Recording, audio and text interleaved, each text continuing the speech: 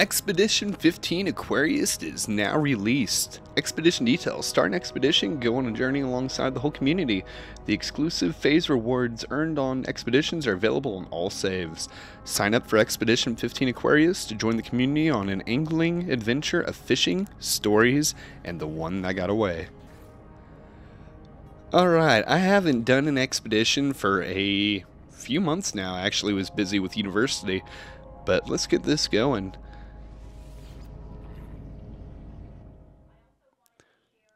Don't remember it ever having this loading screen. This is kind of neat. Let me know in the comments if this is new to this expedition or it's just something I've missed out on.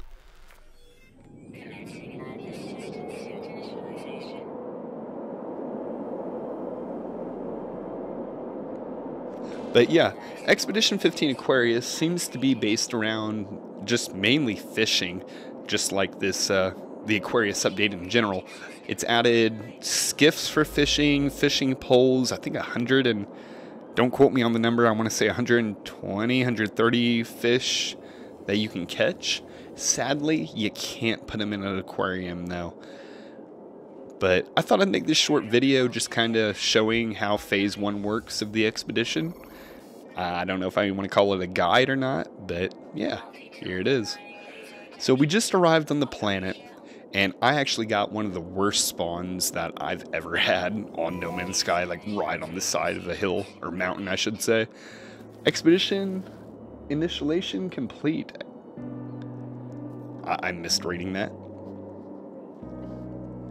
But yeah, lots of flying creatures here. Join the community on an angling adventure to catch fish, gather stories, and think about the one that got away. Complete milestones, earn equipment, complete entire phases for special exclusive rewards. View progress in the expedition page, reach space anomaly to store items, which I didn't know that was a thing. Another thing, let me know in the comments how long you've been able to store items for expeditions and bring them in, because I was kind of amazed to see that, but didn't know what I should bring with me. But yeah, we're just kind of looking around, getting our bearings right now, and looking at all the flying creatures. I seen somebody say something about I don't remember which YouTuber it was, but they mentioned that it looked like the flying behavior or the uh, yeah flying behavior I guess the AI for the flying creatures seemed to have been improved. I'm not seeing it myself, but it could be. Casting off. Locate your starship. So, just like most expeditions, or in the case of the base game, you have to go to your starship and repair it in this one. So this is what I'm in the process of doing. I have edited this down so you don't have to see me mining minerals and repairing everything that I'm sure you all have seen countless times. But we just arrived to my ship.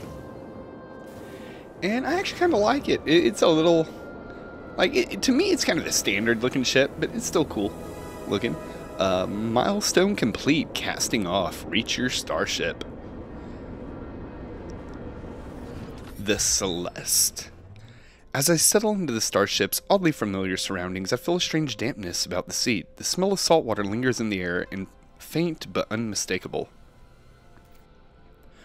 Looking closer, there appears to be a bottle lodged into the launch control panel. Retrieve bottle. There is a message inside the bottle, scrawled in hasty handwriting and torn from a larger book. It reads, I finally feel like I'm getting closer a trader on Gisto offered me solid gold information on its location for a price. And so I'm selling my ship. I'll miss the Celeste, but I have to know if the rumors are true. I hope whoever buys it takes good care of you. Sadly, I don't think they did with it being crashed here. At the bottom of the message, someone has added a handwritten set of planetary coordinates. Universe address validated. Warp coordinates primed.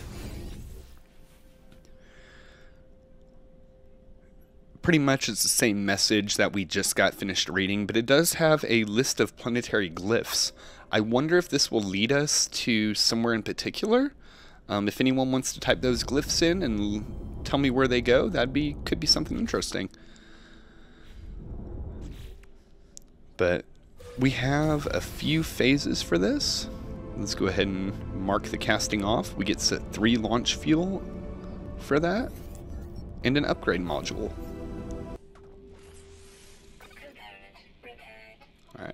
This ship repaired.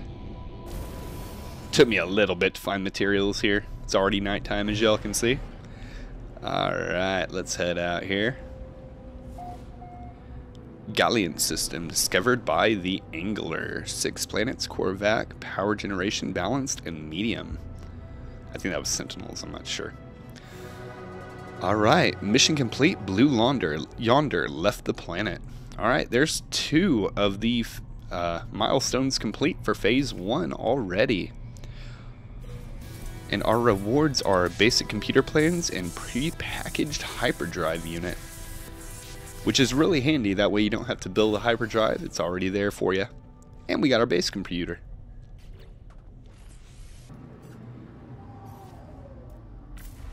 Alright, let's go ahead and get to the destination for our expedition.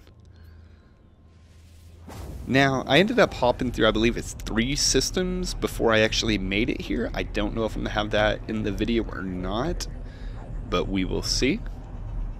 I most likely will have it just hopping to the final destination, I believe.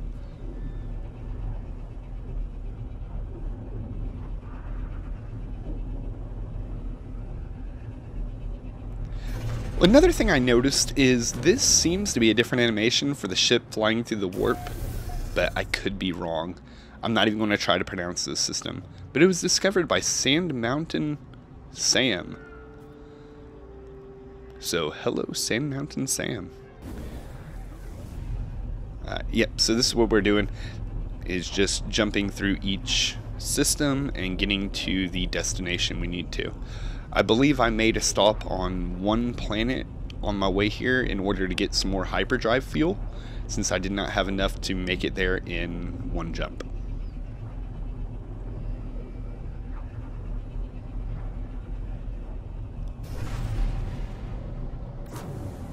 Alright, we have arrived. St. Bury system discovered by the Angler. Expedition progress 300 light years traveled. Secret fishing spot 1 arriving in 47 seconds. Which I might speed this up, so if you don't see this, that means I sped it up. Alright, here we are. We're to arrive to the planet right now, about to enter the atmosphere.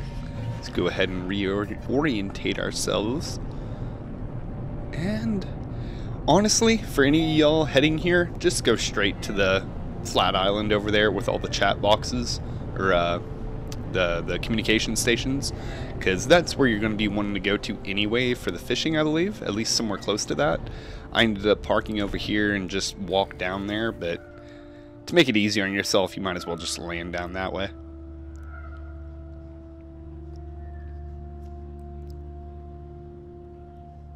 Sitting here trying to reorientate myself so I can find the lake easier all right. So once you land, you want to go over here towards the water. There'll be a little flat area with a, uh, what is it called? Damaged machinery or a beacon or something like that. I can't remember the terminology. It's been a while. But, yep, you'll go over there. You'll interact with that, and that will give you your next re expedition reward.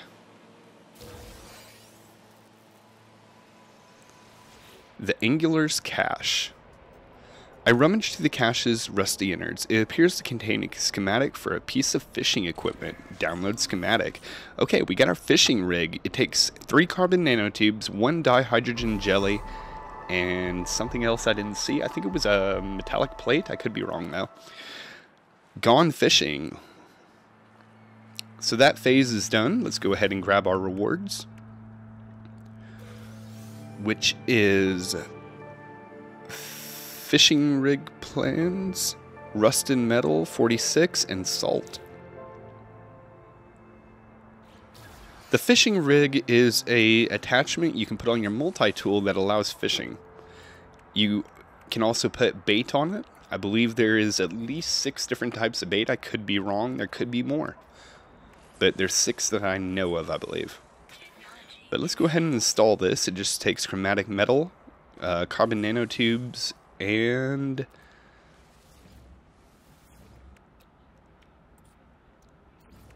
dihydrogen jelly.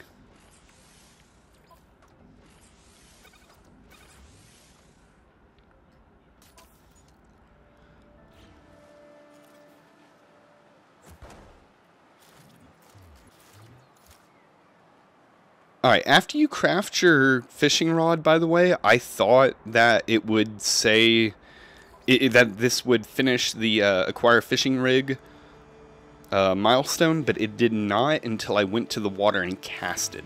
Once I actually cast it into the water, it then registered as me having it, so you may have to do that if you have any issues. But you'll see that happen right down here. If I don't fall to my death. Alright. So yeah, the water is right down here. It's fairly shallow. But see, the second you cast your rod out, the second you pull it back in, you should get the milestone. I don't think you need to click any catch anything. You can even pull it out without uh, having a fish bite, and you will have the milestone completed. Milestone complete. Toe in the water. Acquired a fishing rod or fishing rig.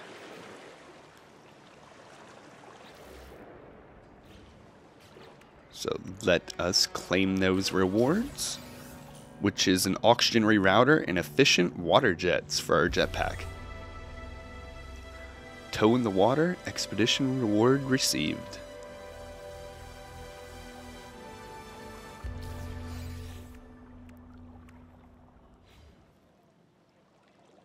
All right. So what I began to do here is I actually started catching fish. You have to catch five fish to complete the next milestone. And I actually completed a milestone from phase two up here because I ended up pulling a uh, item out before I ended up getting a fish, and that actually completed uh, a milestone called the one that got away. I believe is what it called is called. It should pop up right here and that is actually a phase two. Um, I'm forgetting the word. Phase two uh, milestone, but we went ahead and got that taken care of here. So we have to catch five fish, though. It can't be random junk. It has to be fish to complete this.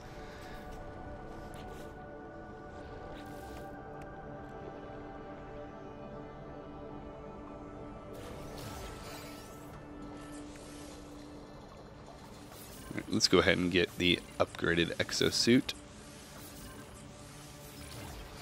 Which I believe we got from that last, the, the phase two uh, milestone.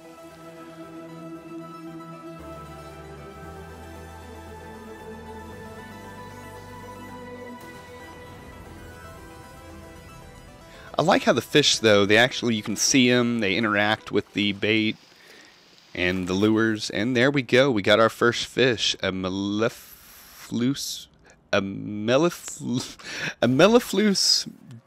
Was that jellyfish? I don't even remember. Uh, all right, we got our first fish. Caught an uncommon fish. Milestone complete. I think that's a milestone for a different uh, phase. I don't believe that was a phase one milestone. We got a spot pond skipper, which is a common fish. Now, I'm assuming if I went deeper into the water, I would catch different types of fish than you would along the shore. I haven't tried it out, but I'm assuming. I know you can catch different fish depending on the weather conditions too, if you have storms and everything going. We have caught a clear water skipper.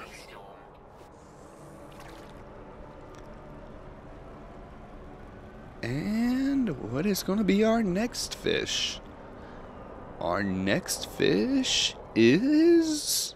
If they'll ever bite? Come on, fishy, fishy, fishy, fishy, fishy. Three, two, there we go. Alright, so we caught a refill, medium-sized, common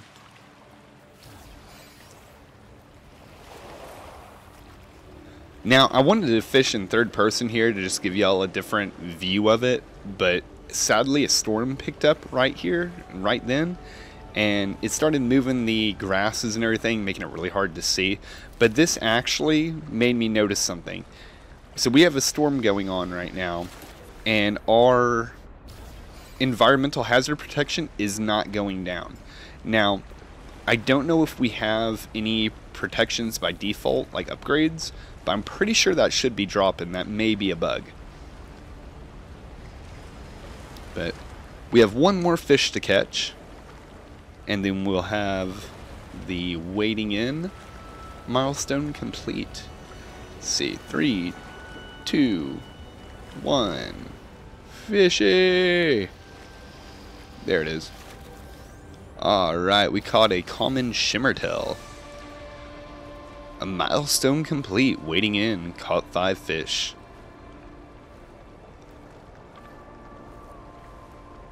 Alright, what did that give us? That gave us... We got two to recollect here.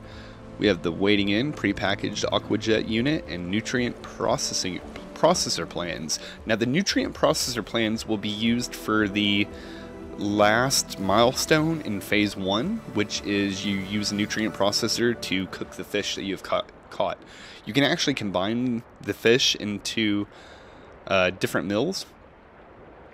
And it seems, I, I don't know if it depends on how many fish you have in there or what type of fish it is. I still haven't figured that out yet.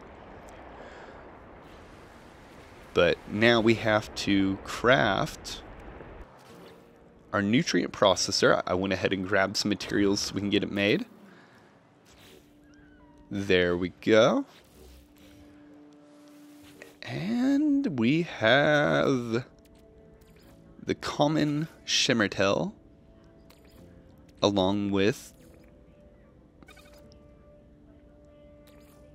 that and the pond skipper that crafted a salty platter.